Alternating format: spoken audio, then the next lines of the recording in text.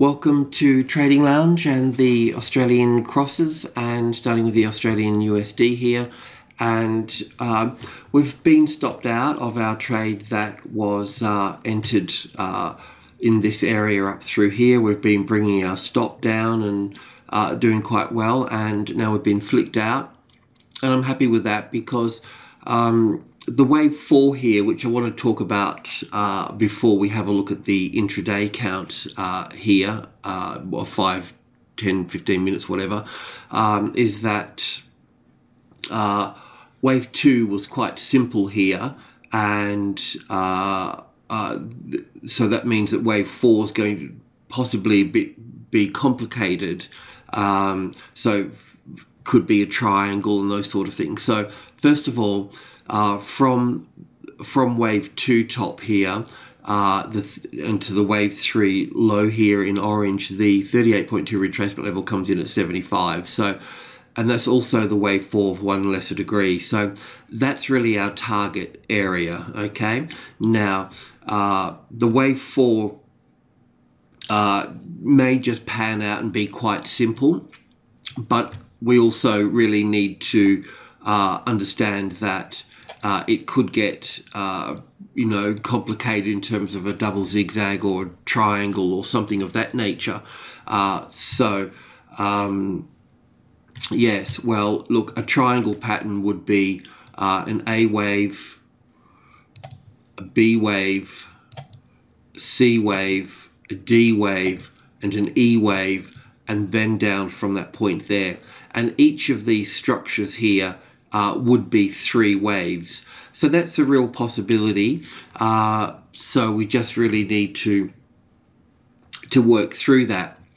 Uh, so one of the first things that we could look at is that if the A wave here is in uh, in three waves, like a uh, an A wave here, a B wave here, and five waves up for the C wave here, well, it's either going to be a flat correction or it's going to be a triangle correction. There's 11 or 12 corrections uh, in the market, and uh, knowing that this is three waves or five waves can start to slice that figure in half. So um, that's what we'll be uh, working through, and we'll just be going uh, step by step. so um, we have been flicked out of uh, this uh, short trade, and we are looking at reversing that and going long yesterday. Excuse me. So just on the 15 minute chart. Okay, just on the uh, 15 minute chart here. Uh, first of all, we were looking at going long yesterday. Uh, this is where our stop was over here for our long-term uh, short trade. But we were talking about uh, being long uh, on this high or this high here.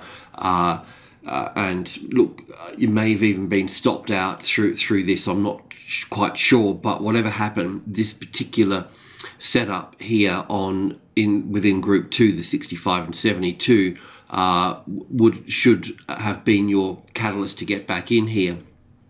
And our target to the upside, uh, it can be 75 uh, because that's the wave four target. But um, I think we need to track this up in, in, in this terms here in terms of one and two and three and four and five. So the 90, the 70 uh, for 72 here would be a nice target to, to exit at. Uh, there's also the possibility that this move here can be wave one and wave two here, and one, two, three, four, five for the third wave, fourth wave, and a fifth wave. Possible we'll see what uh, we'll see what comes at that stage. But I think the group two, the 74, uh, 74, 72 is a good uh, target there. now, the other thing here is that uh, this is likely, e- either way, this is likely to be wave A here. Then we'll look for wave B here and then wave C up over through to here. This is in simple terms. So wherever that top comes in, if we take it from this low here, let's just say that uh, let's just say that it is this particular structure and uh, a green ABC there, and we'll take it into the 80 there. Then we'd be looking at uh, the 50 60% retracement level. So, yeah, basically back around here uh, for this. Now, it's, um, you know, we don't normally uh, trade uh, fourth waves uh, as such. So, so um, yeah, so you just need to be quite careful about how you navigate uh, through uh, this particular correction. Uh, I wouldn't get too involved in, in wave B here, uh, but let's see how, I would like to see how the, the other markets pan out too in their, in their patterns, such as the, uh, the Euro US dollar, um, the Australian yen, and so on. So, um, yeah, basically we're sneaking a little long trade in here. Um, but that's about the end of it. Our main next trade for this will be short again once the uh, the orange, the uh, minor wave four is actually completed. So we want to see quite a mature uh, correction. Uh, the other market that we were trading long in was uh, the is what rather is the AUD uh, yen and um, it's got the same pattern here. And in this case here, you can see that I've labeled it wave one and two here. this is because there's a, a, different pattern behind all of this over here. So in this particular case, our target up here is a little higher up here at 93 and we'd be looking at one and two and three and four and then wave five here, uh, probably a bit lower here, but uh, anyway above wave 3 probably at 92.50 and then wave 4 so I should just sort of bring these into perspective a little bit. So it'll be something like this here in terms of uh, we'll see a move up through to here somewhere uh, then an A and a B. This wave 4 can actually pull back to the wave 4 of 1 lesser degree, so I best do that. This, this length here will be roughly the length of this move here, so perhaps we should move that uh, exit down here for the time being into group 2 here and we'll just uh, pop this here as well uh, down here just a little bit lower uh, here but we'll get a better idea of that uh, as we come out of wave 4 here but I'm just going to save that there and um, the other two markets uh, that we're looking at we're not showing a great deal of interest in these just yet. One's the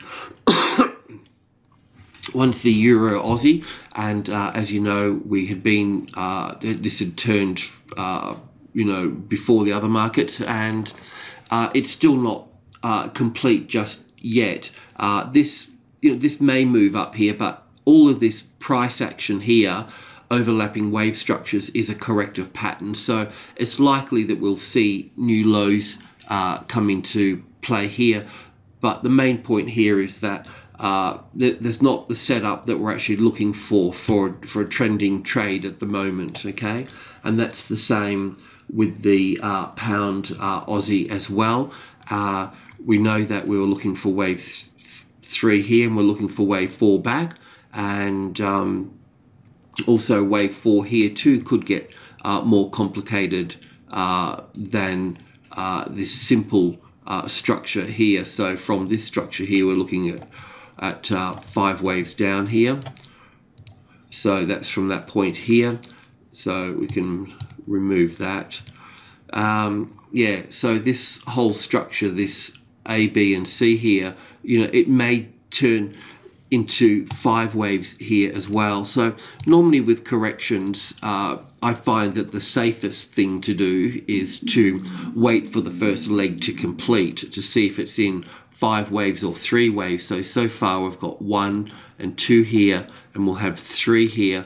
Will we get four and five here? Will, will this occur? Because if we get if we get five waves to here, then we'll get an A and a B and a C here, and then another five down. So probably not the case. Um, so we'll just uh, see now if this is just going to give me an A and a B and a C wave here, still looking for another low here, uh, probably just, trying to retest the the one here, the 2.1. Um, you know, if this market develops a nice tested support on top of uh, 2.1, uh, and we can get ourselves a setup there, which is the first high above the level, something like that, uh, then we can trade long on that uh, on, on that signal uh, through here like that.